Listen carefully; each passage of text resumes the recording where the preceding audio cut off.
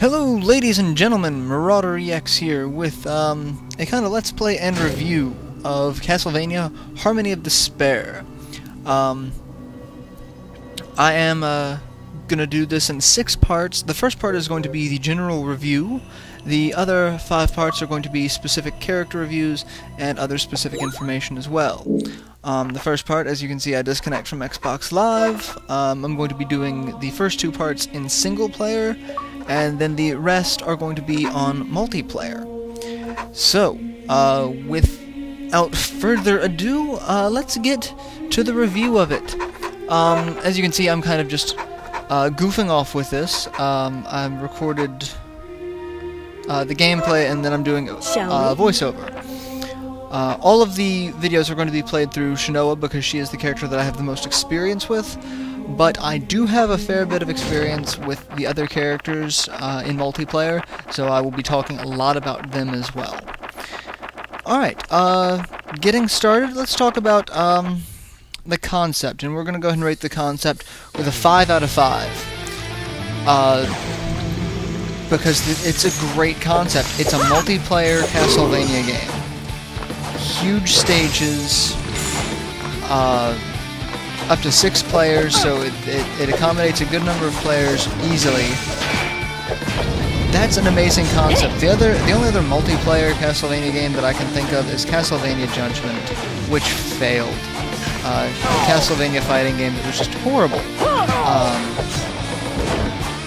so this is a very refreshing change of pace. It's everyone had been clamoring for a good Castlevania multiplayer game, and the idea kind of came about when uh, Portrait of Ruin came out, where you're playing as two characters together. Wouldn't it be good to have, you know, a friend help you out?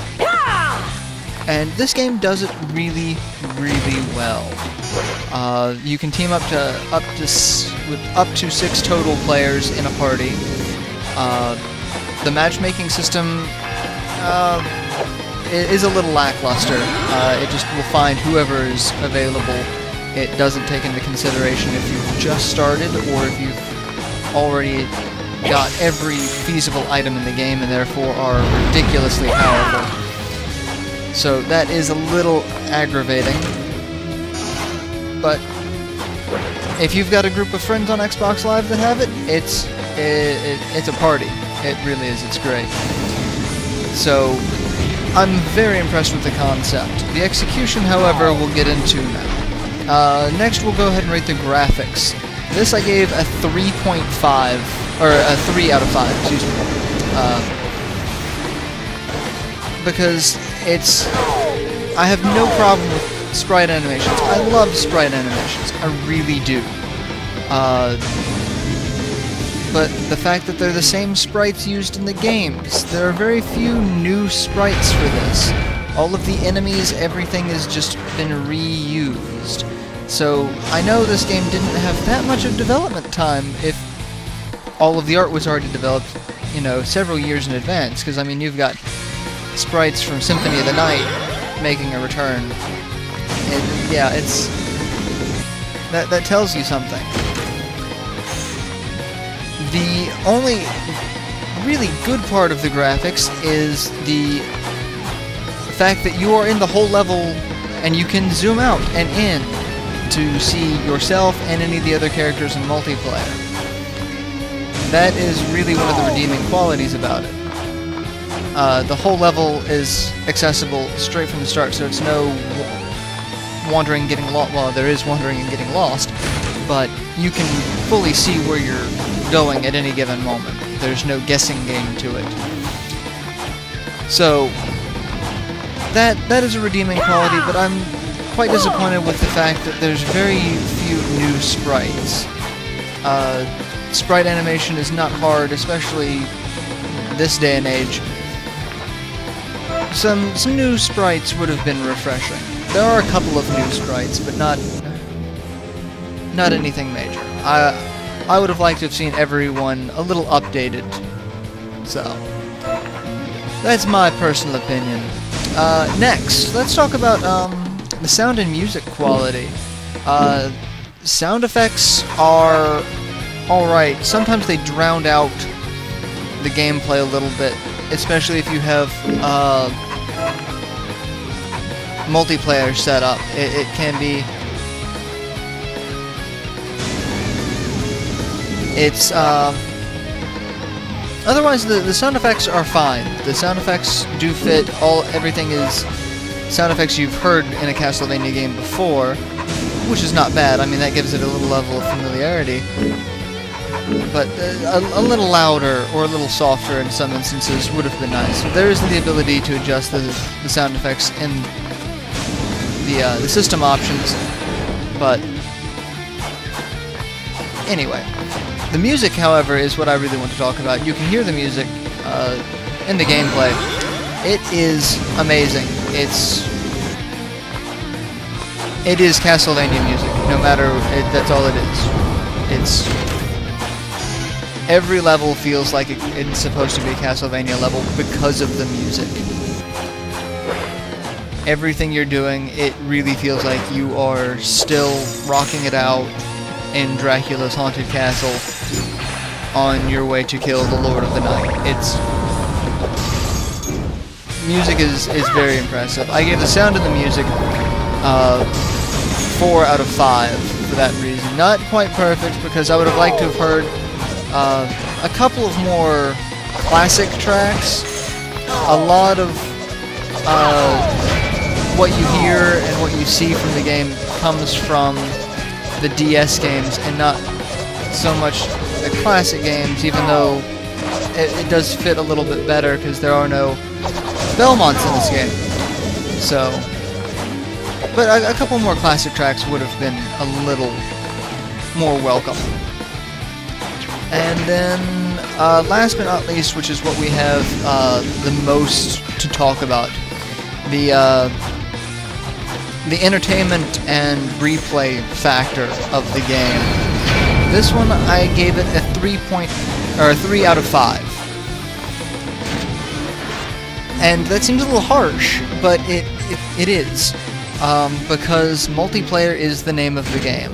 And as you can see, like I said, the first two levels of this I did single player. On normal mode, you've got X number of time to beat the stage. There are six stages. Once you complete all six stages, you have access to hard mode, which brings out all six stages again, but they will rip you a new one. Fire! Now, Fire! that sounds like a good reason to replay it, but it's kind of not, because you have you have to go through the game a fair number of times to get decent equipment. There is no level system in this game your stats are predetermined by what you're wearing. Your HP, MP, strength, attack, everything goes up based off of what you have equipped. So in order to be able to survive the hard mode, you need to be able to have access to the high-end weapons and armor. The easiest way to do that is to play the game on multiplayer, because that's what you have the easiest uh, rate of success with. Because with multiplayer, you can just be an item sponge. Not that I'm condoning that, but it, no matter what you do your first playthrough on multiplayer, you will more than likely be an item sponge. And letting everyone else collect items for you. Because whenever someone in multiplayer opens a chest, everyone gets treasure, regardless of if you were the one opening the chest or not. So, that's really one of the quickest ways to get enough weapons to where you can go through single player on your own. But that's only depending on what character you pick. And that's another part of it. Multiplayer shows that there are several imbalances with the characters, more so than single player. Single player, it's very hard for certain characters to beat certain bosses. Just period. Multiplayer, that's when uh, the balance comes into it, but when you get to see the imbalance of the characters even more. Uh, Soma has probably the most customization available as a single character. Shanoa probably has one of the least customization of any character. To make up for that, Shanoa has the ability to use uh, a travel system that is restricted to only her, the little magnet uh, blocks. But, uh, yeah, it's it's a little depressing that not all the characters are balanced the way they should be. So in order to actually get great equipment, you're going to have to play multiplayer. Unless you just become really good at playing every character by themselves, or just start with Soma. Soma is is much easier to go through the game with than any of the other characters for a first run. But every character has their strengths and weaknesses, which is good, but the a lot of the weaknesses in the customization aspect is kind of lacking. So you really do have to play multiplayer, and then once you finally unlock the hard Move stages out. to get the um, the higher end equipment, because the higher end equipment drops on the same levels but in hard mode, you're you you've gone through the same level probably three times, if not more, to get certain drops, and the drops are random. And I, I dislike a lot of random drop systems, I really do, especially ones this random. Uh, because you'll get equipment that's suitable for your character. So if I'm playing Shanoa, I'm not going to find a handgun, which is a Soma-only weapon, in a treasure chest anywhere. If someone opens a treasure chest, I'm not going to get that weapon. It's just not going to happen. But if I'm playing Soma, I'm not going to find the glyph weapons that are Soma or uh, that are Shanoa's spells and weapons either. So you replayability again comes into it. You're, if you want to level up another character, you've got a lot of the same equipment that they can use, but your weapon selection or spell selection is going to be severely lacking, which is going to limit Let's you. Get going immensely. Also, certain uh, items are only available from the shop, meaning you have to buy and sell and buy and sell and go back and forth through weapon or levels to farm money to buy and sell and buy and sell and buy and sell. And that's really only big if you're going for a couple of achievements. There is one achievement that uh, is based off of money, and one achievement that's based off of the number of items you've got. So, yeah. I mean, overall, as an Xbox Live arcade game, it's very good. Overall score I gave this was a 4 out of 5. I'm a little disappointed with the character balance, which I'm going to go a little more in depth, talking about each specific character in the, the later later functions. But it's it's a fun game, but only really with friends. If you've got a group of friends that you can play this with, it's well worth it. Um, if you're just playing with random people online, not so worth it. Um, and it's really not worth the uh, the the 1200 point price tag. So uh, this has been part one. Uh, stick around for uh, the future installments.